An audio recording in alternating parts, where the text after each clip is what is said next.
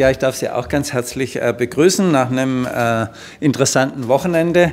Äh, ich will mich aber erst nochmal mit der Sondierung beschäftigen. Wir haben ja heftige Auseinandersetzungen in der SPD, die äh, offensichtlich nicht so richtig glaubt, dass ihre Führung ein sehr gutes Ergebnis ausgehandelt hat und jetzt Teile der Führung den Versuch machen, das nachträglich wieder zu korrigieren. Ich kann mir nicht vorstellen, dass dieser Versuch wirklich klappen wird.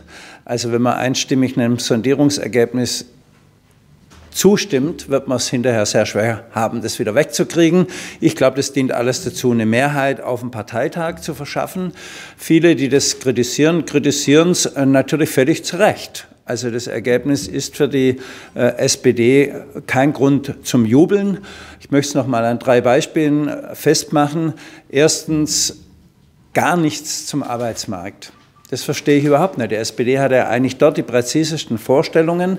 Weder was zum Zurückdrängen der Leiharbeit, ganz schlimm, keine Regelung zur Aufhebung der sachgrundlosen Befristung. Also nach wie vor äh, werden die Leute in einer zweijährigen Probezeit und Unsicherheit äh, unterzogen. Gar nichts quasi gegen äh, unfreiwillige Teilzeitarbeit, wo die Menschen nicht davon leben können. Sogar noch eine Ausdehnung der MIDI-Jobs äh, was nichts anderes bedeutet wie gesicherte äh, Altersarmut. Also da hätte man wirklich mehr erwarten können. Ähm, wie gesagt, die Anleihen würden wir gerne geben. Also wir haben sowohl Vorschläge gemacht, wie man die Leiharbeit regeln kann. Also die musst du eigentlich äh, verbieten, zurückdrängen und du musst zumindest ab dem ersten Tag das Gleiche bezahlen, damit es aufhört, dass Leiharbeiter durchschnittlich nur die Hälfte des Lohnes äh, bekommen. Junge Leute von einer Befristung in die andere reinzuhetzen, ist sozialpolitisch völlig unverantwortlich. Und äh, sollte man dringend äh, beenden. Also man hätte das anders machen können. Das Zweite bei der Rente. Wir wissen alle, eines der größten Themen, die wir haben werden, ist die drohende Altersarmut und die Absenkung des Lebensstandards für viele Menschen durch die äh, äh Rentenpolitik der vergangenen 20 Jahre. Das festzuschreiben auf 48 Prozent ist wirklich keine Leistung, zumal man jetzt erfährt, dass es ohnehin bis 2024 beabsichtigt war. Aber die Verkäuferin wird bei 48 Prozent immer noch keine auskömmliche Rente bekommen und die Menschen mit mittlerem Einkommen eben auch nicht. Ähm, äh, da hätte man mehr tun müssen, man hätte zurückgehen müssen auf 53 Prozent, man hätte Faktoren einbauen müssen, dass die Menschen, die ohnehin eine geringe Rente kriegen, mehr bekommen. All das ist nicht äh, passiert. Ein wirklich ein großes, ein großes und sehr großes Versäumnis und äh, ähm, beim Arbeitsmarkt noch die Tariföffnungsklausel zu sagen, die Arbeitgeber dürfen jetzt rumspielen mit modernen, flexiblen Arbeitszeitmodellen, ist eine weitere Durchlöcherung der Tarifverträge. Wir leiden doch nicht unter mangelnder Flexibilisierung, wir leiden unter dem Mangel, Leben und Arbeiten in Einklang miteinander zu bringen. Und wir leiden unter dem Problem, dass die Tarifverträge für immer weniger Menschen gelten. Damit hat im Übrigen äh, äh, Schulz Wahlkampf gemacht, dass er gesagt hat, die SPD verspricht, dass wieder mehr Menschen unter die Tarifverträge fallen. Das hätte aber bedeutet, Allgemeinverbindlichkeit zu erleichtern und nicht gar nichts dazu zu äh, sagen. Der letzte Punkt ist Pflege oder der zweitletzte. Also Pflege, äh, ähm, also 8000 zusätzliche Pflegekräfte zu vereinbaren für die medizinische Versorgung in den Altenpflegeheimen ist wirklich, wirklich äh, äh das Hinterletzte. Ähm, also wir brauchen 100.000 mehr Pflegekräfte in den Krankenhäusern alleine. Man weiß, wie es in den Altenpflegeheimen zugeht. Das ist nicht mehr wie ein Trostpflaster äh, für ein drängendes, äh, drängendes sozialpolitisches Problem. Und alle Parteien, im Übrigen auch die CDU, haben vor der Wahl versprochen, mehr für die Pflege zu tun. Was wir jetzt haben, sind entweder völlig äh, äh, schwammige Ankündigungen und die einzige Präzisierung verbleiben 8000 lächerliche Stellen. Also unverantwortlich. Und bei der Steuerpolitik brauche ich ja gar nicht auszuführen. Wir haben immer gesagt, wer wirklich in Bildung, Erziehung, Gesundheit und Infrastruktur investieren will, muss eine andere Steuerpolitik machen. Ähm, die SPD ist ja schon mit äh, gar keinen Vorschlägen zu einer Vermögensteuer reingegangen und mit doch sehr fragwürdigen Vorschlägen zum Spitzensteuersatz. Wir haben immer gesagt, der muss eigentlich später einsetzen, nicht ab 60.000, wo wirklich der Facharbeiter und die Lehrerin äh, betroffen sind, sondern ab 86.000, aber dann kräftiger damit ich äh, wirklich eine Umverteilung zugunsten der äh, mittleren und unteren Einkommen machen kann. Davon ist nichts übrig geblieben. Also es äh, ähm, bleibt dabei, wir sind hier die einzige wirklich linke soziale Opposition zu einer kommenden großen Koalition. Einen schönen guten Tag auch von meiner Seite. Im Umgang mit Menschen in Not und in den Sondierungsergebnissen zur Zuwanderung hat sich die CSU durchgesetzt. Zementierung des Hartz-IV-Unrechts, eine faktische ähm, Abschaffung des Familiennachzugs durch eine extreme Begrenzung und eine klausulierte Obergrenze. Kurzum, die SPD hat auf voller Linie in diesen Fragen versagt. Ich möchte das in drei Beispielen ausführen. Zum ersten Thema Hartz IV.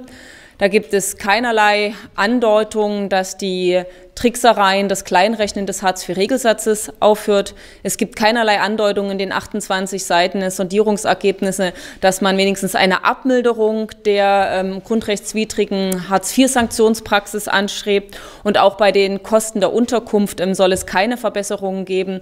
Und dazu möchte ich Ihnen eine Zahl nehmen. Wenn man sich nämlich die Differenz anschaut zwischen den tatsächlich bewilligten Kosten der Unterkunft für die Ärmsten und den Wohnkosten, die tatsächlich anfallen, so gibt es eine große Differenz die liegt bei 594 Millionen Euro. Und das ist eine Summe, auf der die Bedürftigsten in diesem Lande sitzen bleiben, weil sie sie nicht bewilligt kriegen, aber trotzdem bezahlen müssen. Thema Familiennachzug, das soll ja nun die Aussetzung durch eine sofortige gesetzliche Initiative verlängert werden und danach soll im Sommer geregelt werden, dass pro Monat 1000 Menschen nachkommen können. Ich meine, das ist eine faktische Abschaffung. Und jeden Abgeordneten, der dafür die Hand hebt, den würde ich zu gerne verpflichten, wenigstens mit einem Geflüchteten zu reden, mit einem Familienvater, der sich Sorgen macht um seine Liebsten, um seine kleinen Kinder, seine kleinen Töchter und Söhne und dieses Mal in großer Unruhe lebt. Wer dafür den Arm hebt, hebt wirklich den Arm für grenzenloses Leid in Familien. Und der dritte Punkt ist ähm, die Asylverfahren. Die sollen künftig in Sammellagern stattfinden. Das heißt, Menschen sollen so lange in den Massenunterkünften bleiben, bis sie eine gesicherte Aufenthaltsperspektive haben. Was heißt das? Verfahren können sich ziehen. Und es dauert nicht nur Tage, nicht nur Wochen. Das heißt also, dass Menschen, die womöglich traumatisiert sind, eine unsichere Perspektive haben, zusammengepfercht in Massenunterkünften weiterleben müssen. Ich sage, das, was dort die Große Koalition plant, ist Sabotage von Integration.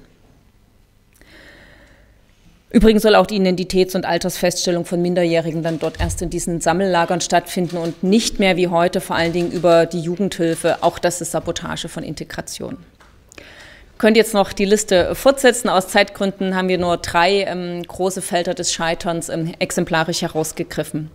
Da dieses Wochenende auch im Zeichen der Bilanz von 2017 und des Ausblicks auf 2018 stand, möchte ich noch äh, meinen Rückblick auf 2017 und unsere Bilanz hier beginnen. 2017 war ein Jahr, in dem wir große Erfolge erzielt haben. Bei den Bundestagswahlen unterm Strich eine halbe Million Wählerinnen mehr. Wir haben 8500 Neumitglieder, wovon zwei Drittel unter 35 sind. Wir haben es geschafft, selbst im konservativen Südwesten des Landes über fünf Prozent ähm, zu kommen. Und wir haben zusammen mit vielen anderen eine Image Imageverschiebung in unserer Partei hinbekommen. Wer heute jung ist und die Welt verbessern will, ähm, der kommt doch ähm, zuallererst zu Linken. Wir haben gewonnen beim Dienstleistungsproletariat und auch beim akademischen Prekariat. Aber natürlich war das Jahr 2017 auch das Jahr, wo sich uns große Aufgaben gestellt haben, weil wir haben Verluste im Osten und Verluste bei den Abgehängten.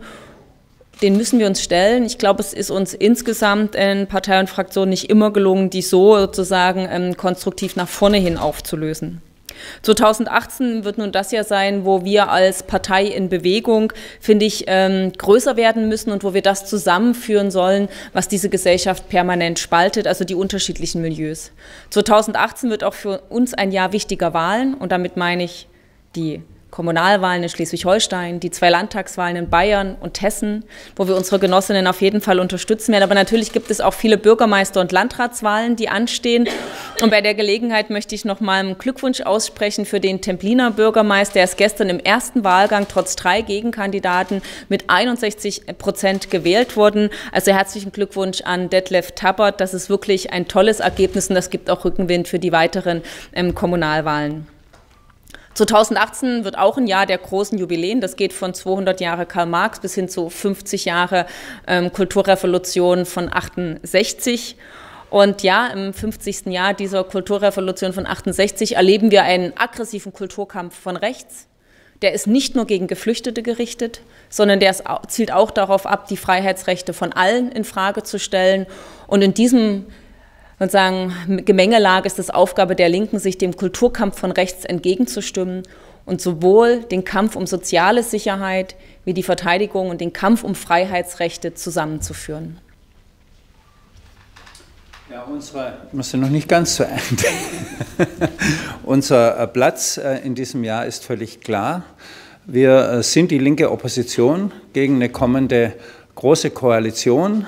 Wir stehen an der Seite der Erwerbslosen, der Gewerkschaften, der Sozialverbände, der Menschen, die gegen die äh, Klima, ähm, für den Klimaschutz auf die Straße gehen. Und wir haben eine große Chance, in diesem Prozess stärker zu werden. Es gab einen klaren Konsens bei allen äh, Mitgliedern unseres, äh, unserer Gremien, dass wir ähm, daran arbeiten, mit einem klaren Fahrplan die Linke äh, stärker zu machen. Wir wollen in der Tat aus diesem 9 bis 10 Prozent Turm rauskommen. Dazu haben wir große Chancen. Wir sind noch lange nicht am Ende, auch mit unserer Anziehungskraft an, äh, an, an, junge Leute, mit unserer Verankerung bei den Beschäftigten von der Reinigungskraft bis zum Ingenieur, äh, die stärker zu uns kommen. Diese Position wollen wir ausbauen. Wir wollen unsere Kampagne in den sozialen Bereichen verstärken.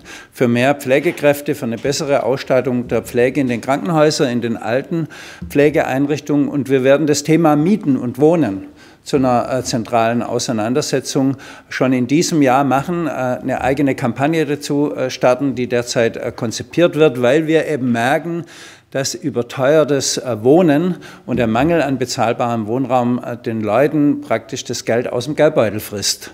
Und äh, ähm, das nicht nur untere Einkommen und ärmere Schichten betrifft, sondern bis weit in die sogenannte Mitte der Gesellschaft geht, dass es sich in den Ballungsräumen kaum noch bezahlbare Wohnungen finden lassen. Wir werden äh, äh, unsere Mitgliederbasis weiter ausbauen. Wir sind nicht zufrieden mit 8.500 allein. Das ist ein geniales Ergebnis. Allein die letzten zwei Jahre über 14.000 neue Mitglieder für die Linken. Ich glaube aber, dass wir da noch Luft nach äh, oben haben und diese Position in diesem Jahr weiter ausbauen können. Äh, wir wollen definitiv unsere Erfolge im äh, Westen weiter ausbauen, aber im Osten den Rückgang stoppen. Also wir äh, ähm, finden uns äh, auf keinen Fall damit ab, dass wir im Osten Stimmen verloren haben und werden auch äh, mit einer Zukunftswerkstatt Ost die nächsten Wochen starten und breite Vorschläge unterbreiten, wie wir dort weitermachen können. Zumal wir ja im Beispiel Siemens jetzt sehen, dass es eine weitere Deindustrialisierung geben wird. Ähm, wir werden das Thema industrieller Umbruch in den Mittelpunkt unserer Auseinandersetzungen stellen die Regionen, die Automobilstandorte haben und die jetzt noch starke äh, äh, äh, ähm, Maschinenbau und andere Standorte haben, die werden die nächsten zehn Jahre einen gewaltigen Umbruch erleben. Mit der Elektromotorisierung, mit der Digitalisierung. Auch dazu gibt im Übrigen der Koalitionsvertrag keinerlei Antwort. Diesen Umbruch so zu gestalten, dass nicht die Beschäftigten die Zeche bezahlen müssen und die Umwelt, wird eine Aufgabe der Linken sein. Und äh, letzter Punkt, äh, wir werden den Grünen auf keinen Fall das Monopol auf Klimaschutz und sozialökologischer Umbau überlassen. Die Grünen äh, haben sich inzwischen selber ihrer Kerne beraubt. Sie haben eigentlich das Wort sozial sowieso äh, von der Ökologie getrennt. Das spielt für sie keine Rolle. Sie sind aber auch im ökologischen Bereich keine ernstzunehmende Partei mehr, ähm, äh, äh, sondern äh, die Frage, ernsthaften Klimaschutz zu betreiben, ernsthaften sozial-ökologischen Umbau zu betreiben, das Soziale mit dem Ökologischen zu verbinden, wird ein zentrales Profil der Linken. Äh, äh, wir haben da schon programmatisch viel vorzuweisen. Leider ist es noch nicht überall durchgedrungen, aber bei jungen Leuten ähm, ist die Entscheidung da längst gefallen, dass wir auch die, die Partei sind mit dem klarsten ökologischen Profil. Und abschließend eine kritische Auseinandersetzung mit dem, was womöglich demnächst in Syrien bevorsteht. Der türkische Präsident Erdogan plant eine militärische Eskalation in Syrien. Er hat angekündigt, die kurdische Enklave Afrin anzugreifen, und zwar mit dem Ziel, die kurdische Miliz YPG dort zu vernichten. Dazu muss ich drei Punkte sagen. Erstens, die kurdische YPG ist das Bollwerk gegen den IS. Und wenn Erdogan jetzt die JPG vernichten möchte, so will er diejenigen vernichten, die den islamistischen Terror besiegt haben. Das ist einfach nicht hinnehmbar. Da braucht es einen Aufschrei. Zweitens, die kurdische Enklave Afrin ist bisher von Kriegshandlungen verschont geblieben und ist deswegen eine Schutzzone für viele, viele Geflüchtete. Bei einem Angriff wird es zu zahlreichen Menschenrechtsverletzungen und Kriegsverbrechen kommen. Drittens, die kurdische JPG hat niemals das Territorium der Türkei angegriffen. Die Türkei, immerhin noch NATO-Mitglied, plant nun einen Angriffskrieg auf äh, diese Enklave und das ist völkerrechtswidrig und im Übrigen auch ein Verstoß gegen das NATO-Statut. Vor diesem Hintergrund möchte ich Außenminister Gabriel konkret zwei Fragen stellen. Vor einigen Tagen haben Sie in Goslar zusammen Tee getrunken mit dem türkischen Außenminister hat er Ihnen gegenüber da seine Angriffspläne angekündigt? Und wenn ja, was haben Sie dazu gesagt? Und zweitens, die Bundesregierung möchte der Türkei militärische Schutzausrüstung liefern, angeblich, um damit den IS zu schwächen. Wie will man verhindern, dass nicht just diese militärische Unterstützung für die Türkei am Ende eingesetzt wird, um die EPG anzugreifen, also diejenige, die in einem mutigen Kampf dem islamistischen Terror die Stirn geboten haben?